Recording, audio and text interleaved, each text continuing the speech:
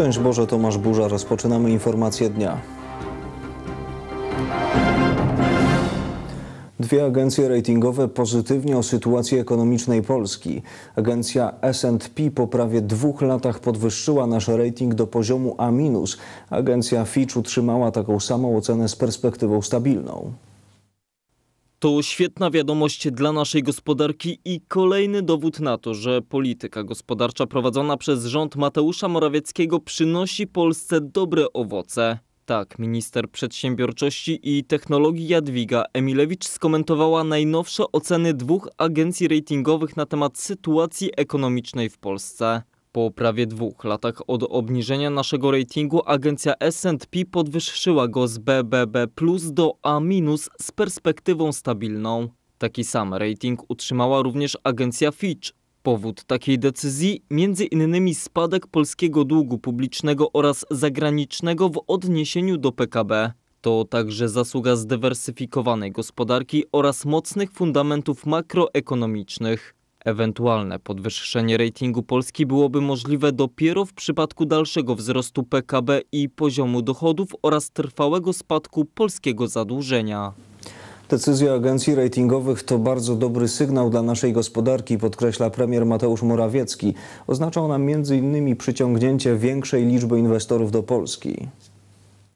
Premier Mateusz Morawiecki nie jest zaskoczony taką decyzją agencji ratingowych. Wiem, jak wygląda polska gospodarka, wiem, jaki, w jakim jest stanie, jest w bardzo dobrym stanie, a więc agencje ratingowe mają ciężki orzech, twardy orzech do zgryzienia. Po prostu wiedzą doskonale, że perspektywy naszego budżetu, długu publicznego, wzrostu PKB są dobre lub bardzo dobre. Decyzja agencji pokazuje, że rząd idzie we właściwym kierunku. Przede wszystkim z perspektywy polskich rodzin, polskich obywateli. Jestem daleki też od jakiegoś triumfalizmu, w tym sensie, że cieszę się, że jest to potwierdzenie przez, no powiedzmy sobie delikatnie, instytucje, które nie były za bardzo sprzyjające, czy nie są za bardzo sprzyjające naszemu rządowi, bo my naruszyliśmy tyle interesów, że rzeczywiście te zagraniczne instytucje też czasami nie za bardzo za nami, za nami przepadają. Podniesienie ratingów będzie miało pozytywne skutki dla naszej gospodarki. Ona oznacza przyciągnięcie większej liczby inwestorów e, do Polski. Ona oznacza e, bezpieczeństwo na rynkach finansowych. Ona wreszcie też oznacza niższe koszty obsługi długu, a przez to więcej środków możemy przeznaczyć na nasze programy rozwojowe, infrastrukturalne, społeczne. Potwierdza też to, że mieliśmy pieniądze poprzez nasz system e, podatkowy, poprzez uszczelnienie systemu podatkowego. Uwierzyli w to, że zwycięstwo z mafiami VAT-owskimi zrealizowane przez rząd Prawa i Sprawiedliwości jest rzeczywistością namacalną, realną i matematycznie policzalną. 14 kandydatów na prezydenta Warszawy i 14 pomysłów na przyszłość stolicy. Po raz pierwszy zorganizowano debatę telewizyjną, w której wszyscy kandydaci mogli przedstawić swój program wyborczy. Nie obyło się jednak bez niespodzianek. Takiego przebiegu debaty nie spodziewał się chyba nikt. Tu jest moja rezygnacja z członkostwa w partii, do której należę. Patryk Jaki odszedł z Solidarnej Polski. Warszawa przez ostatnie 12 lat się rozwijała siłą mieszkańców. Niestety samorząd był upartyjniony i nie potrafił dogonić mieszkańców, dlatego chcę zaproponować nową jakość. Zaproponował jednocześnie Rafałowi Trzaskowskiemu, by również za jego przykładem odszedł ze swojej partii i nie kontynuował polityki prowadzonej przez Hannę Gronkiewicz-Waltz. Warszawa zasługuje na poważne traktowanie, na wiarygodność, na stabilność i przede wszystkim na przewidywalność. To oznacza, że Rafał Trzaskowski będzie kontynuował dotychczasowe rządy swojej poprzedniczki, powiedział Patryk Jaki. Chciałby pokazać w działaniu, że Warszawa dla niego jest dla wszystkich, to podpisałby tą deklarację, ale dzisiaj nie podpisał deklaracji. On chce po prostu partyjnego ratusza, partyjniactwa Platformy Obywatelskiej. Podczas debaty nie brakowało dość osobliwych obietnic i zachowań, takich jak chociażby to Pawła Tanajno. Ja jako zwykły obywatel, który nie ma za sobą partii politycznych, mogę spojrzeć na to, na, jak na przestrzeni ostatnich 20-30 lat obietnice prezydentów rozpływały się we mgle. Dlatego Tanajno obietnice ma proste. Pizza hawajska dla każdego mieszkańca stolicy. Zaskoczyła także kandydatka Światowego Kongresu Polaków Krystyna Krzekotowska. Ja pokażę, jak my się czujemy jako obywatele. My się czujemy przygnieceni do ziemi. Wstańcie, wstańmy dumni warszawiacy. Nie pozwólmy na przygniatanie Na prezydenta Warszawy startuje 14 kandydatów. Już za tydzień w niedzielę okaże się, który z nich najlepiej przekonał do siebie wyborców. Kolejny weekend upłynie pod znakiem konwencji. PiS spotka się dziś z wyborcami w Kielcach, a Koalicja Obywatelska w Poznaniu. Wczoraj wieczorem w Kaliszu gościła z kolei wicepremier Beata Szydło. Była premier w południowej Wielkopolsce, pojawiła się na konwencji wyborczej Zjednoczonej Prawicy. Beata Szydło do najstarszego miasta w Polsce przyjechała na konwencję samorządową Zjednoczonej Prawicy. Wicepremier w trakcie krótkiego przemówienia mówiła o tym, jak ważne są najbliższe wybory. Według Beaty Szydło dzięki wygranej kandydatów Prawa i Sprawiedliwości reformy będą wdrażane równomiernie we wszystkich miastach. Ale do tego, do tego potrzebni są w samorządzie partnerzy. Potrzebni są ludzie, którzy będą rozumieli, że praca w samorządzie to jest służba. Była premier stwierdziła, że jeszcze w wielu miastach Polski mieszkańcy nie wiedzą o tym, że mogą skorzystać z dofinansowania rządu na budowę żłobka czy utworzenia klubu seniora. Dlaczego tak się dzieje? Bo niektórzy samorządowcy nie interesują się programami rządowymi. Ale są też i tacy, którzy mówią, przecież to rząd pisowski, to my z nimi współpracować nie będziemy. Komu oni szkodzą? Sobie szkodzą? Rządowi Prawa i Sprawiedliwości? Szkodzą wam wszystkim, tym mieszkańcom, którzy na tym nie korzystają. Beata Szydło zwróciła się z prośbą do mieszkańców południowej Wielkopolski, aby zaufali kandydatom Zjednoczonej Prawicy. Bo jeżeli ta szansa rozwoju zostanie wykorzystana nawet w najmniejszych naszych gminach, to będziemy naprawdę krajem, który będzie imponująco się rozwijał, ale przede wszystkim Polacy będą mogli powiedzieć: dobrze nam się tu żyje. Na konwencji w Kaliszu wicepremier Szydło promowała kandydatów Prawa i Sprawiedliwości na prezydentów Kalisza, Leszna i Ostrowa Wielkopolskiego. Poseł Platformy Obywatelskiej Tomasz Lenz atakuje Radio Maryja wykorzystując katolicką rozgłośnię do walki politycznej w czasie trwającej kampanii wyborczej. Za rozpowszechnianie nieprawdziwych informacji, że miasto Toruń dokłada środki finansowe do organizacji imprez Radia Maryja, decyzją sądu musi przeprosić za swoje słowa.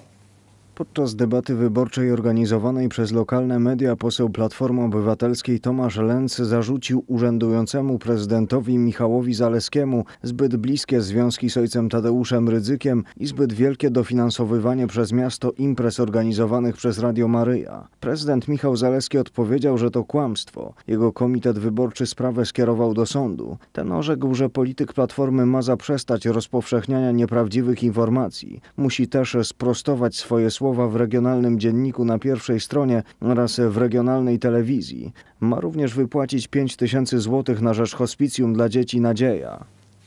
Wszystko wskazuje na to, że dziś w Lublinie odbędzie się manifestacja środowisk homoseksualnych. Sąd apelacyjny w Lublinie dał zielone światło dla parady środowisk homoseksualnych mimo licznych protestów mieszkańców Lublina.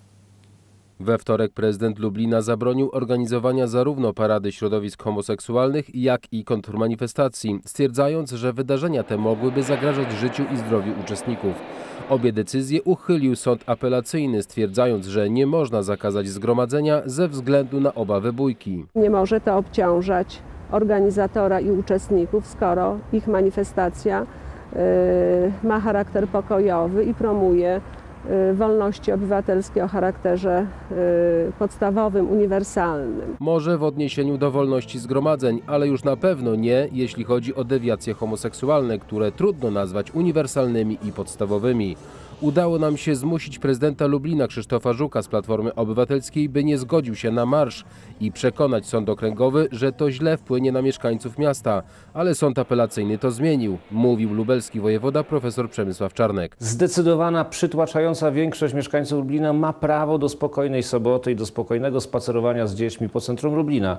Sąd apelacyjny uznał rację jakiejś malutkiej mniejszości i to jeszcze w dużej mierze przybyłej nie z Lublina, tylko gdzieś z jakichś innych miast. Podchodząc do sprawy wyłącznie formalistycznie, sąd apelacyjny nie wziął pod uwagę artykułu 5 kodeksu cywilnego, który mówi o zasadach współżycia społecznego, podkreśla profesor Zdzisław Winnicki. Zarówno organy policyjne, jak i szerokie kręgi miasta Lublina były przeciwne tej manifestacji, no bo przecież nikt środowiskom LGBT wolności w Polsce nie odbiera. Ta wolność istnieje.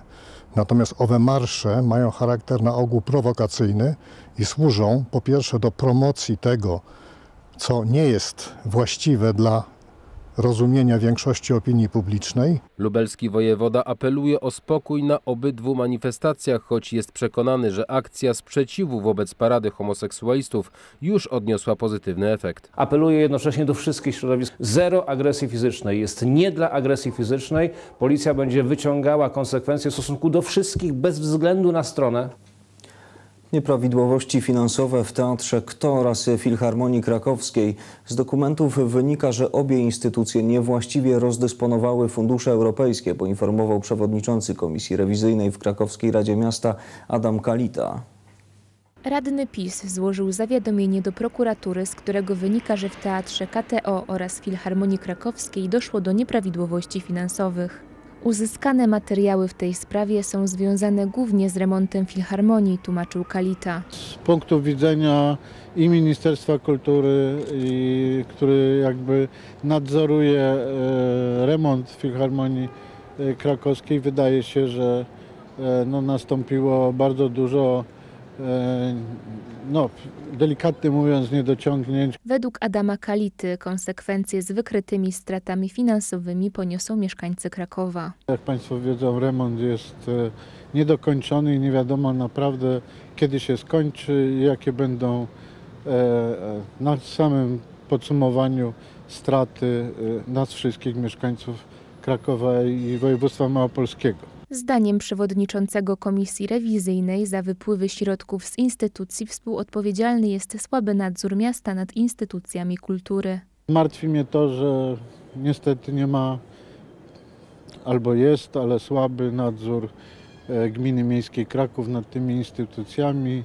Audyty, kontrole nic nie, nigdy nie wykazują, a jak przychodzi do, mm, do szczegółów, to wydaje się i, i to zawiadomienie o tym mówi, że te nieprawidłowości są bardzo duże. Według radnego nieprawidłowości w teatrze KTO są poważniejsze od złego gospodarowania finansami w teatrze Łaźnianowa, o którym rok temu zawiadomił prokuraturę.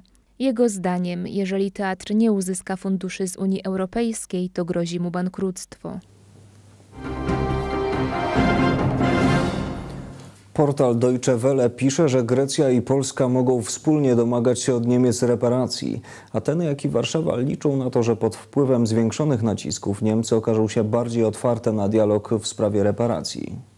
Niemcom grożą kolejne żądania odszkodowań wojennych, napisał portal Deutsche Welle. Niemieckie media podały, że przedstawiciele parlamentarnych komisji Grecji i Polski do spraw reparacji spotkali się i nie wykluczają wspólnego wywierania presji w tej sprawie na rząd w Berlinie. Jak wskazuje Deutsche Welle, Berlinowi chodzi o to, by nie ustanowić precedensu. Gdyby Grecja wygrała sprawę odszkodowania wojenne, żądania reparacji mogłyby wysunąć dziesiątki innych dawnych wrogów wojennych III Rzeszy i okupowanych wówczas państw, wskazują niemieckie media. Rząd Niemiec powinien zainteresować się faktem, że także w Polsce czynione są starania w tej sprawie, podkreślił portal. Parlamentarne komisje do spraw reparacji w Polsce i Grecji podjęły współpracę, by wspólnie wywierać presję na niemieckie władze. Tak odbyło się spotkanie w ścisłym gronie, potwierdził w wypowiedzi dla niemieckiego portalu przewodniczący greckiej komisji Triantafylos Mitafides, podobnie jak jego polski odpowiednik Arkadiusz Mularczyk. Grecy mówią o kwocie reparacji w wysokości 280 miliardów euro, a Polacy 740 miliardów euro. Jak dodaje portal, poseł Arkadiusz Mularczyk chce przedstawić raport w sprawie reparacji na początku 2019 roku i dopiero wtedy okaże się, czy także Polska oficjalnie przedstawi swoje żądania. Były to informacje dnia. Dziękuję Państwu za uwagę. Z Panem Bogiem.